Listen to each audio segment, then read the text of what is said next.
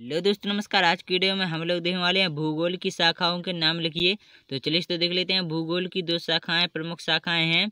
भू, भौतिक भूगोल तो दोस्तों, इसके अंतर्गत भू आकृति विज्ञान, जैव भूगोल, पर्यावरण भूगोल, जल विज्ञान, मृदा भूगोल, समुद्र विज्ञान, खगोलीय भूगोल और हिमनद भूगोल का अध्ययन किया जाता है।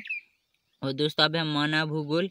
तो दोस्तों, मानव भूगोल में आर्थिक भूगोल, जनसंख्या भूगोल, सांस्कृतिक भूगोल, राजनीतिक भूगोल, सामाजिक भूगोल, ऐतिहासिक भूगोल आदि का अध्ययन किया जाता है। तो दोस्तों, यार, आशा करता हूँ आप लोगों को वीडियो पसंद है वीडियो पसंद है तो वीडियो को लाइक करें दोस्त शेयर करना।